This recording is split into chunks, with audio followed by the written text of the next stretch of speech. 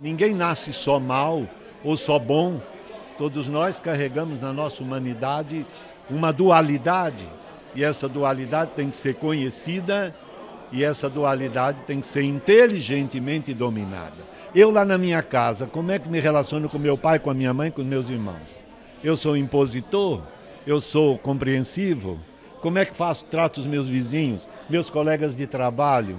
Eu tenho respeito por eles? Uma televisão com a outra, o modo que nós fazemos a nossa vida repercute na sociedade. Eu faço sempre uma comparação. A sociedade é como um tecido. Tecido é feito de fios trançados. Se os fios estão estragados, o tecido será feito e será podre. Se os fios forem bons, eles se, se juntam e se firmam uns com os outros. E o tecido será bom, será precioso. A sociedade precisa de pessoas que se transformem e se unam. E se unam no bem para construir o bem de todos.